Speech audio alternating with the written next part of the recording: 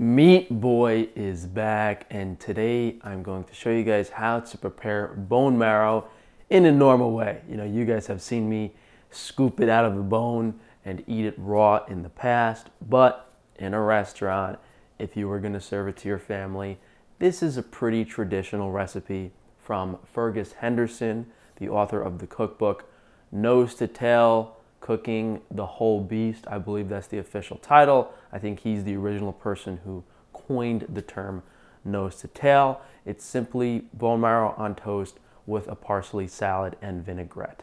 So let's take a look at what we need. So the main attraction, we have some 100% grass-fed marrow bones from Frankie's Free Range Meat. And guys, if you can't get grass-fed, bone marrow is where the animal stores a lot of toxins. So since these are high quality, you don't have any of those concerns. That being said, just four femur bones like this is half of the yield of like an 800 pound animal. So this is not something you would eat too frequently, but it, it is very enjoyable.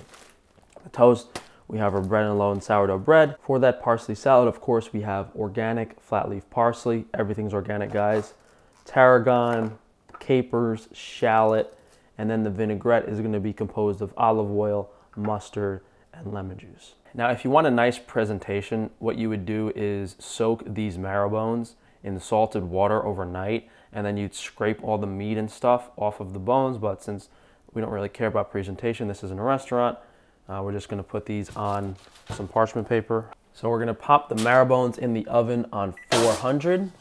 We basically just want it to be that soft texture, a little bit of caramelization on top, but be careful because it is fat. It's gonna just start melting on the bones. Toast, guys, very simple. I'm just popping the bread in the toaster. And since this bread is oddly shaped, what you can do is just put it in once and then flip it over for a second time. So here we want to just nicely chop everything and have this light dressed salad that can be put on the toast with the bone marrow. So, you know, we're gonna take the leaves off the parsley. We're gonna dice some shallot very thin you know, separate the tarragon and dice it, dice up the capers, and once we have that, we'll assemble it. For the parsley, I just take a knife and kind of shave it, and the ends that are green and vibrant and clean will just kind of come off. And then if we want, we can pick some of the stems out when we go in here. Now you don't have to add tarragon. It's a very French kind of classic herb. I personally don't like it, but uh, you don't have to put too much in.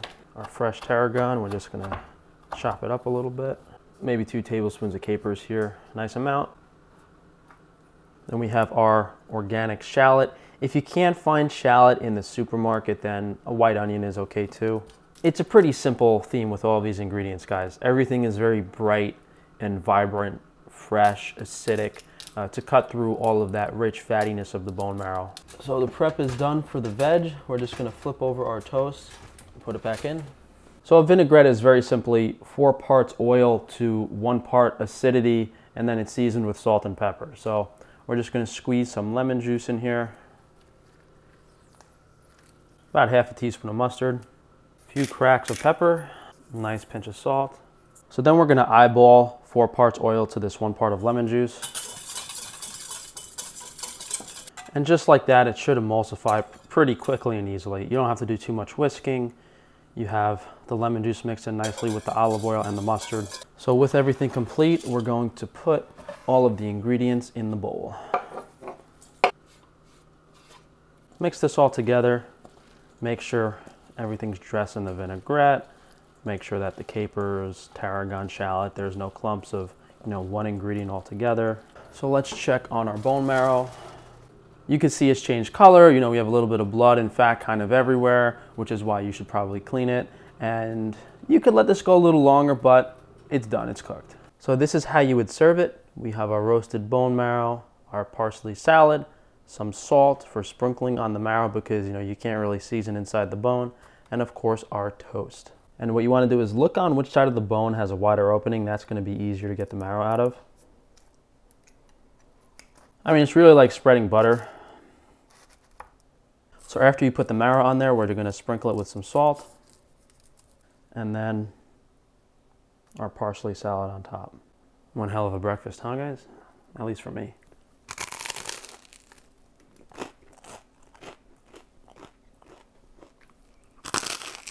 this is not nearly as heavy or rich as you think it is. If you serve this in a restaurant and people ate it, they would be like, oh my God, what is that? They would have no idea it's bone marrow because marrow, if it's very high quality, if you don't overcook it, has a super mild, buttery flavor. So you have the aerated bread, the acidic, flavorful salad on top, and the marrow coats your mouth. And I would say it has even less flavor than butter, but it's very, very nice, delicious appetizer. Would be amazing to have this in a restaurant. Well, thank you guys for joining me. If you want a delicious way to make bone marrow for your friends or family, or just a change of pace for yourself, definitely try this recipe out. You can look up uh, Fergus Henderson's bone marrow and parsley salad online for specific measurements. Outside of that, you guys can go to frankiesfreerangemeat.com if you want some grass-fed marrow bones. You can also check out frank-tufano.com for all of my other businesses. Don't forget to drop a like on the video, leave a comment down below, subscribe so that YouTube can unsubscribe you next week, and be sure to check that notification bell so they don't notify you of my videos. Thanks again for joining, guys, and I'll see you for tomorrow.